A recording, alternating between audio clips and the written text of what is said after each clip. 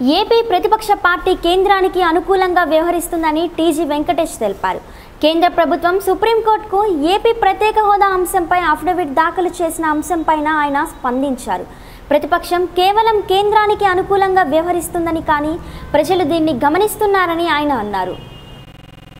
మీ పోరాటం ఆంధ్ర రాష్ట్రానికి ఏమీ రారాదు.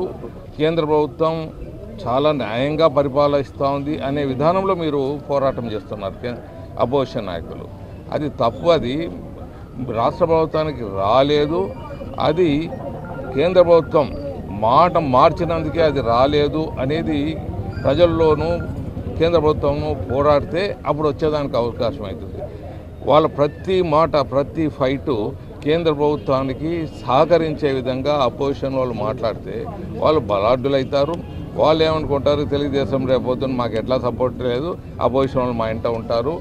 చంద్రబాబుకు సహకారం ఇస్తే వాళ్ళు మాకు సహకారం ఇవ్వరు అనే రీతిలో వాళ్ళు ముందుకు పోతున్నారే కానీ రియాలిటీ వచ్చి అందరికీ ప్రజలకు తెలుసు మీడియాకు తెలుసు అందరికీ తెలుసు. ఇది ఇటువంటి గేమ్లు షార్ట్ టర్మ్ గేమ్లే అని తెలియజేస్తున్నారు